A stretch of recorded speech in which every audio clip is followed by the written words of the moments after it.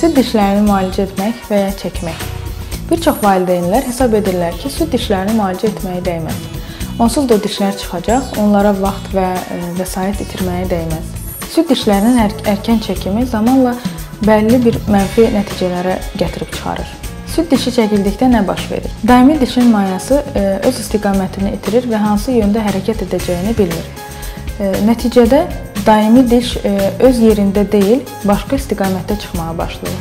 Buna görə də dişlərin zamanından tez çəkilməsi gələcəkdə ortodontik müalicəsi ehtiyacı yaradır. Ortodontik müalicə dedikdə dişlərin gələcəkdə breketlə və ya digər ortodontik aparatlarla müalicəsi bərpası nəzərdə tutulur. Bu səbəbdən də süd dişlərini zamanında müalicə etmək məsləhət görülür. Digər sual süd dişləri nə zaman çəkilib və nə zaman müalicə edilməlidir? Diş çəkiminin yeganə göstərişi diş ətrafı toxumaların və sümüyün iltihabı prosesidir.